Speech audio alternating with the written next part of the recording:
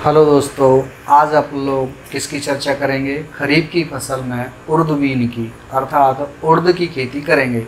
उर्द वही होता है जो मूंग जैसा होता है, किंतु ये काला होता है, इसका ऊपर का कलर, और इसे छीलेंगे तो सफ़ेद दाल बन जाती है तो इसका छिलका काला होता है, वही है। और इसकी जब सब्ज़ी बनाते हैं, दाल बनाते हैं, थोड़ा चिकनी लगती है, किंतु स्वादिष्ट लगती है है ना?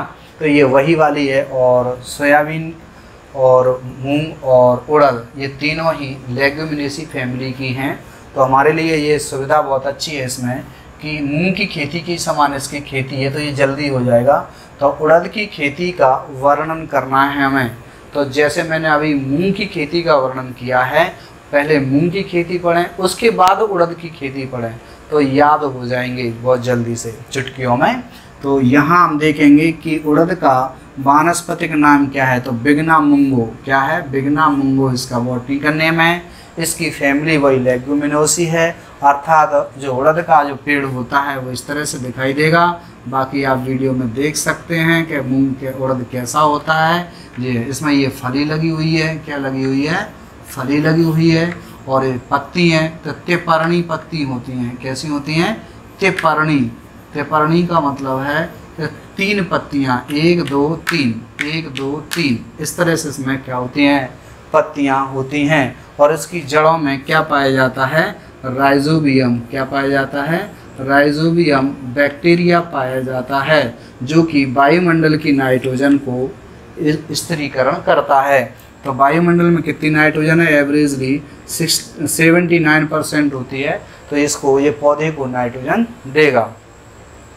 अब आती हमारे सामने इसका नाम हो गया और इसका कुल हो गया, है ना? कुल लेग्यूमिनेसी क्यों कहते हैं? क्योंकि इसमें लेग्यूम्स यानी फलियाँ लगी हुई हैं। तो अब हम देखेंगे इसका महत्व, जो मूंग का महत्व है, वही उर्द का भी महत्व है, कोई विशेष अंतर नहीं है। आपने जो मूंग में सीखा है, वही है। मूंग में क्या सीखा है? कि इसका वानस्पतिक भाग पशुओं को खिलाने काम आता है। यह दलनी फ़सल है। इसकी जड़ों में राइजोबियम बैक्टीरिया पाया जाता है, जो भूमि में नाइट्रोजन स्थिर करता है। क्या करता है? भूमि में नाइट्रोजन स्थिर करता है और इसके दाने में क्या हो क्या पाई जाती है? प्रोटीन पाई जाती है, जो कि 24 से 26 परसेंट या 24 से 25 प्रतिशत पाई जाती है, जो कि बहुत ही उपयोगी है। अर्थात प्रोटीन हमारे लिए शरीर के लिए कैसी है? बहुत ही उपयोग है। अब आता है मृदा एवं मृदा की तैयारी।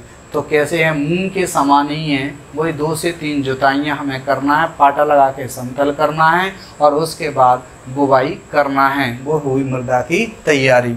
अब आती हैं किस्में कि उर्द की कौन सी किस्में बोएँ कि ज़्यादा से ज़्यादा उपज आए।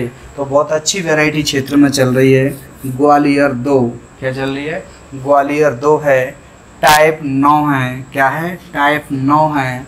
उज्जैन चार है। पूसा एक है। जवाहर दो है, जवाहर तीन है, ये दो वेराइटी हैं। इन वैरायटियों में से आप चार वैरायटी कोई सी याद करके रखिए और उन वैरायटियों में से एक न एक वैरायटी आपको लिखना ही है। ठीक है? उसके बाद आता है बीज दर।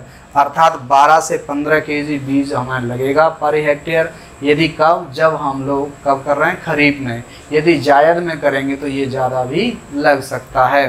तो बहुत अच्छी बात है कि हमारे लिए बीज दर कितना डल रहा है? 12 से पंद्रह के जी बीज ही पर हेक्टेयर काफ़ी होता है।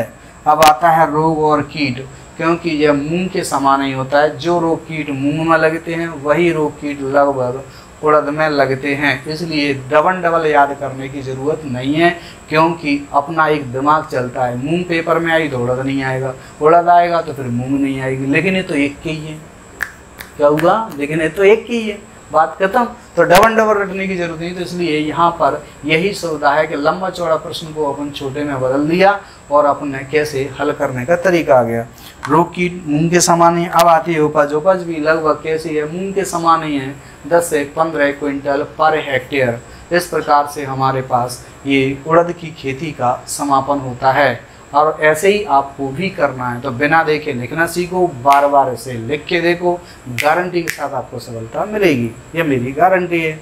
ठीक है? रटना मना है। बस यही है बार बार इसे समझते रहिए। ओके?